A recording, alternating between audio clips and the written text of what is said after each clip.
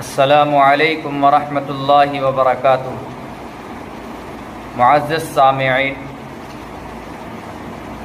अल्लाह तबारक व ताली ने ईमान वाले का जान और माल और वक्त वो जन्नत के बदले में ख़रीद लिया है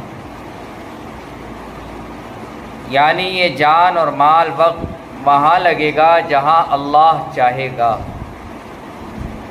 और अगर हम इस वक्त को, इस माल को, इस जान को वहाँ नहीं लगाते, जहाँ अल्लाह चाह रहा है तो यकीनन ये वहाँ लगेगा जहाँ अल्लाह नहीं चाहता।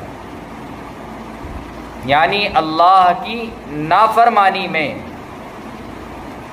अल्लाह की हुक्मदूली में, अल्लाह की अहकामात की ख़िलाफ़ वर्जी में ये जान व माल वक्त वहाँ लगेगा।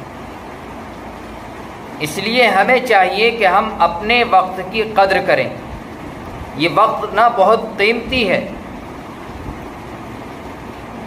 हम जिस तरीके से वक्त को बर्बाद करने में लगे हुए हैं, गेमिंग के चक्कर में, मोबाइल के चक्कर में, और खेलकूद के चक्कर में आकर, और बाहर की बैठक चाय की दुकानों पर बैठकर इधर उधर बैठकर अपने वक्त को हम बर्बाद करने में लगे हुए हैं।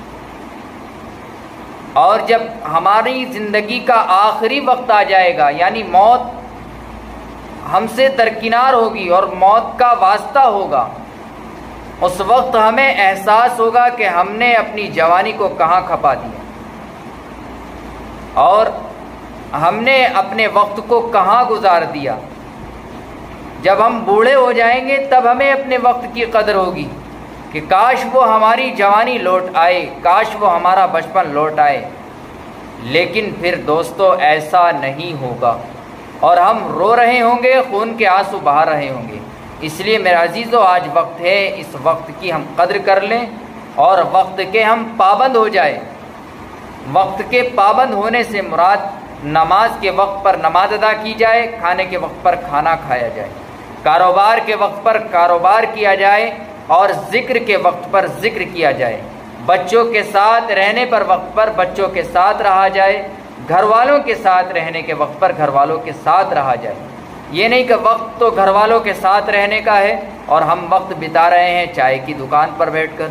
वक्त तो नमाज़ का है, हम वक्त बिता रहे हैं बाहर गेम खेल कर वक्त तो ज़िक्र करने का है, अल्लाह को याद करने का है। और हम अपने वक्त को बर्बाद कर रहे हैं, इधर उधर घूमकर वक्त को ज़ाय कर रहे हैं। मेरे अजीज़ों, हमें चाहिए कि हम वक्त की कदर करें और इस वक्त को हम कीमती बनाएँ। एक बार हमारी ज़बान से सुबहान अल्लाह निकले, अल्लाह अकबर निकले, अल्लाह के कलाम की आयतें निकले कुरान करीम की तिलावत हमारी ज़बान से हो, हमारा वक्त बर्बाद ना हो।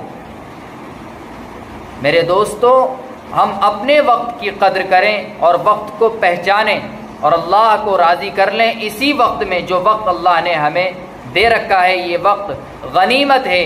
वरना वक्त आता है तो इंसान बीमार पड़ जाता है हादसा का शिकार हो जाता है, परेशान हो जाता है, मुसीबतें घेर लेती हैं और फिर वो सोचता है कि मुझे वही वक्त वापस मिल जाए, मैं अल्लाह की इबादत करूँ, अल्लाह का ज़िक्र करूँ अल्लाह के लिए उसकी रज़ा वाले काम करूँ, लेकिन मेरे अजीज़ों, फिर वो वक्त हाथ नहीं लगता।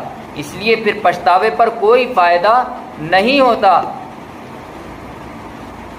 तो यकीनन इन मेरी आपसे और अपने आप से भी, आपके अहलोयाल से भी, आपके बच्चों से भी दरख्वास्त है, इल्तिजा है कि भाई अपने वक्त की हम कदर करें और अपने वक्त को हम ज़ाया ना करें। अल्लाह हम सबको अमल की तोफ़ी अता फ़रमा दें वाखिर दावाना रबालमी